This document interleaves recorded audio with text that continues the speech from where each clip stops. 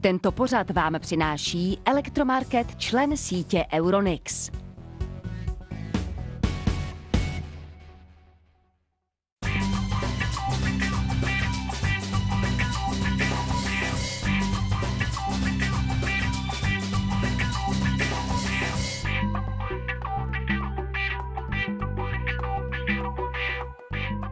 Dobrý den, vítám vás při sledování dalšího dílu vašeho oblíbeného magazínu ze světa elektra. V dnešním dílu se budeme věnovat inspiraci při nákupech vánočních dárků.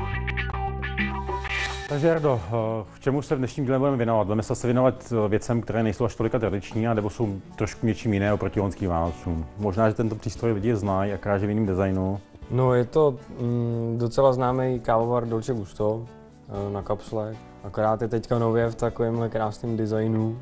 Tady si prakticky můžeme navolit, kolik toho kafe chceme vůbec udělat. Je to senzorový, takže prstem takhle vyjedeme nahoru nebo dolů a řekneme tomu přístroji, jak moc toho kafe chceme. Je to úplně jednoduchý na obsluhu. Prakticky člověk, co chce dělat, co si chce dělat kafe, vezme si tu kapsli, kterou si může koupit v jakékoliv prodejně, dá se říct dneska po celé republice. Jediné, co pouze udělá, vydá si tady odsaď takový zásobník, do tohoto kafe strčí, zastrčí zpátky, přístroj do zásuvky, nastaví pouze velikost kafe, kterou potřebuje, zmáčkne tlačítko, mandá hrneček a kafe hotovo. Dneska si může vybrat z nezměrného množství kafí, ať jsou to různé latte kafe, různé espressa, různá kapučína, jsou tam i dětské nápoje, jako Nesquik, čokolády, bezkofeinové nápoje, dokonce i čaje se dělají. Takže těch možností je hrozně moc. Je to ideální pro někoho, kdo nechce mít doma speciální kávovar, dělat si kafe čtyřikrát denně, ale prostě večer přijde a nebo přijde návštěva a chce mu udělat rychle, rychle jakýkoliv druh kafe, který potřebuje. Takže to je jedna věc, kterou bychom doporučili.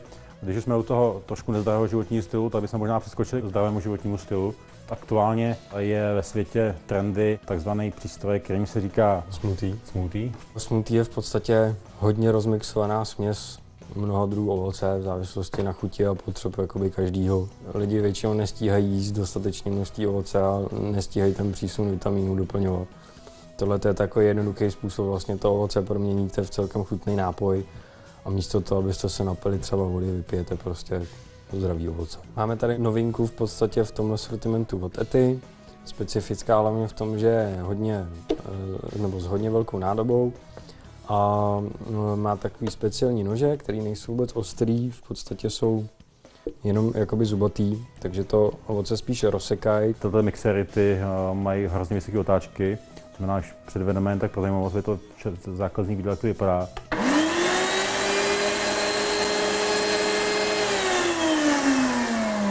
Je to skutečně přístroj, který který vám věne otáček, já nevím, několik otáček 28 tisíc je tam za minutu. 28 tisíc otáček za minutu, takže skutečně jde během chvilky, během malinkaté chvilky dojde k totálnímu rozrecení toho ovoce. To znamená, nedochází k zahřátí toho ovoce jako ve standardním mixeru, kde to mixujeme třeba 3-4 minuty a tu už nedochází ke ztrátě výživy. A udělá to velký množství najednou, zkrátka. Teď se vlastně vrátíme k něčemu nezdravému.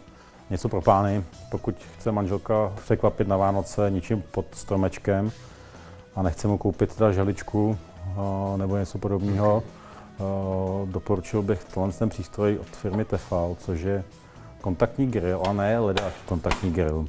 Když to ukážeme jednoduše, zapneme to ten přístroj, tak na tom přístroji si vybíráme druh potraviny, eh, kterou aktuálně budeme na tom grillu dělat. To znamená, buď to může nějaký hamburger, kuřecí maso, eh, jsou tady nějaký paníny zapejkaný, buď tady nějaké klobásky, hovězí maso nebo ryby. Standardně chlapci vybere asi steak, hovězí steak, zmáčkne si na tlačítko hovězího steaka, zmáčkne tlačítko OK.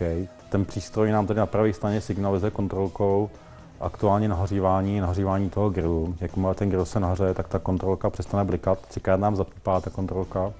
V tom okamžiku vkládáme potravinu, maso do toho grillu. A pak už jenom pouze všímáme toho, jak ten steak chce mít propečený. Je tady několik barev, jak je vidět od tom okolí, a podle toho, jak ten steak chceme propečený, ta kontrolka je v tom okamžiku podle toho zabarvená. Pokud je to ta kontrolka na zelené ploše, je ten steak ještě krvavý. Pokud to přechází do oranžové barvy, dochází ke steaku medium. A pokud máme rádi silně propečený steak, už ta barva je téměř červená. To je opravdu jednoduchý.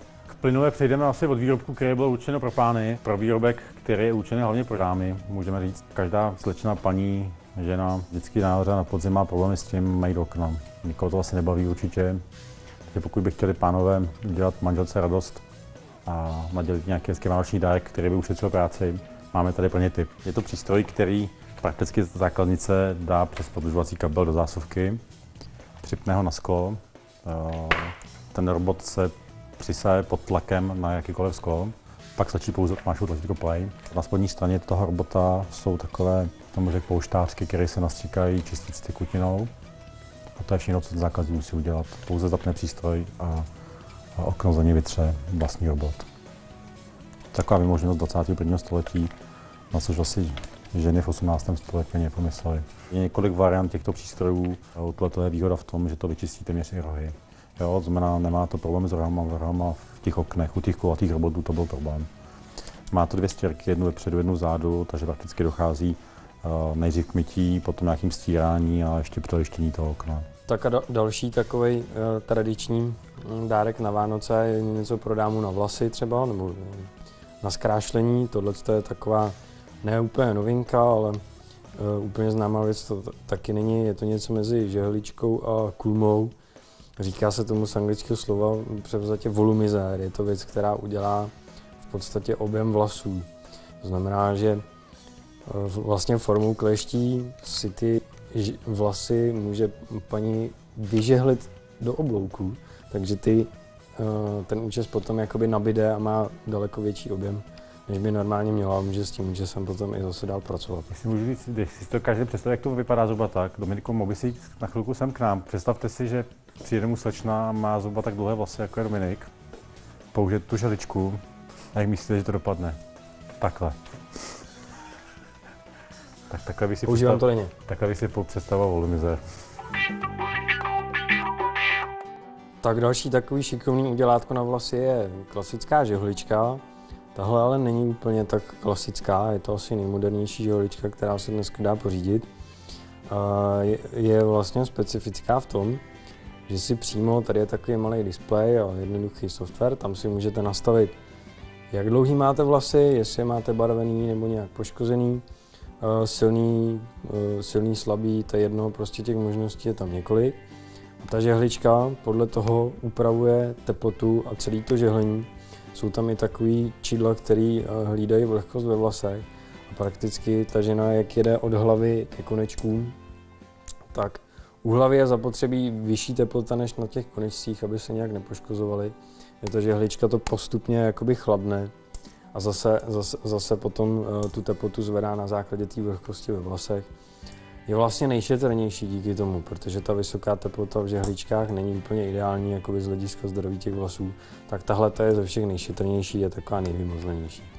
Vážení přátelé, protože s vámi loučím, těchto vychytávek, co jste v dnešním díle viděli, máme daleko více a proto se s vámi o ně podílíme ještě v dalším díle, který uvidíte ještě do Vánoc.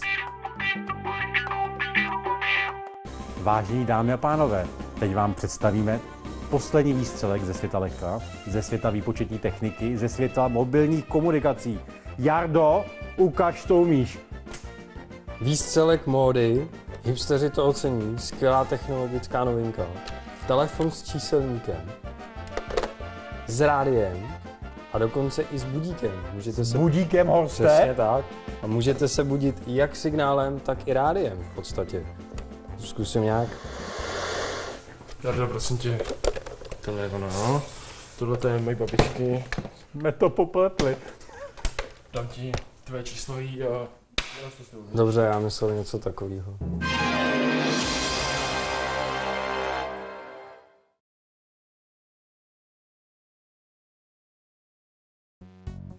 Tento pořad vám přinesl Elektromarket, člen sítě Euronix.